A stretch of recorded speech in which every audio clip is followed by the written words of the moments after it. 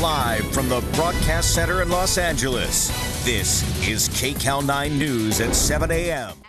Well, one holiday meal down, plenty more to go. It can be tough to keep off those extra pounds during the holidays, but joining us now is Mariana Rossano. She is the CEO of Zen Foods, and thank Hi. you for being here. My pleasure. She's going to have some great tips on how to eat healthy during the holidays, right? Exactly. It can be done. It can be done. we have to think about it a little, but it can be done. One of the problems it seems that people have is they go through like the emotional eating over the holidays, whether it's for good or for bad, mm-hmm. and it causes a lot of inflammation if we're drinking too much alcohol, having too many sugars. So, what we like to do is maybe a couple of days after you've had something bad to eat, think about your how to get rid of inflammation. Mm.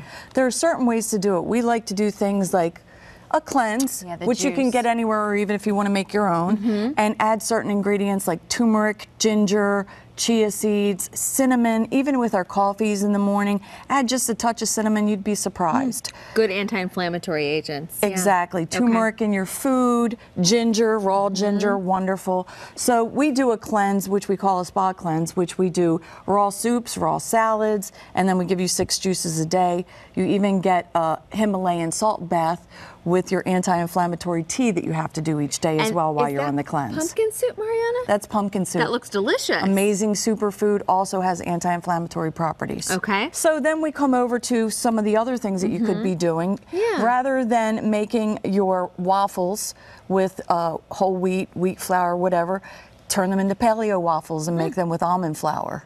Delicious. You'd be surprised how good they are with your fresh berries, some raw maple syrup. Mm-hmm. You know, I mean, sure, there's a little sugar here and there, but if you're using healthy versions of, it's much better. And with a little turkey bacon, maybe.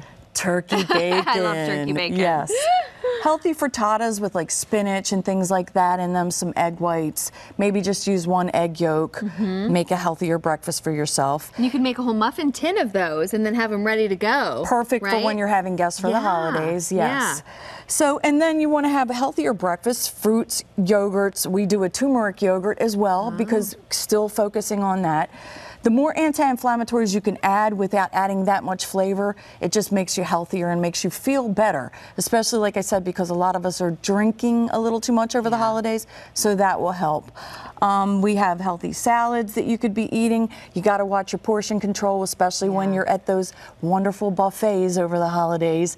Just and, and pick from the healthier things, pick more fruits, vegetables, lean proteins. Try to stay away from the really heavy carbs.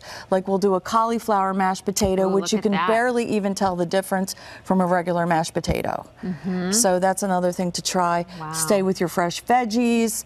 Um, and then we could talk about desserts if you like. And- Yeah. because that's a big thing over the holidays. And I think that we really need to enjoy ourselves. We should give ourselves those little pleasures, but we can make them healthy. Like right here, we have. Yeah, a chocolate dream cake. It's made with zucchini, believe it or not.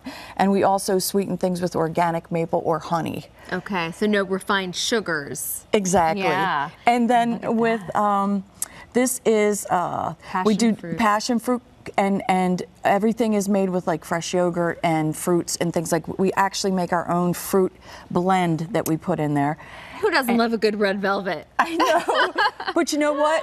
When we look at red velvet, we think of dye, artificial. So we make this with pomegranate and beet juice. So then that makes a healthy version. Wow. You know, and what are some of the tips, would you say, Mariana, for before you go to that holiday party? Maybe eat well during the day, have a healthy snack so you're not inclined to gorge on the cheese and Yes. the, the bad stuff, right? Yeah, and drink a lot of water as well because then you're washing it out, you're helping with that. And for those who do make their own juices, I would say a good green juice with some ginger the next morning, that helps a lot. Why are those inflammatory agents so important?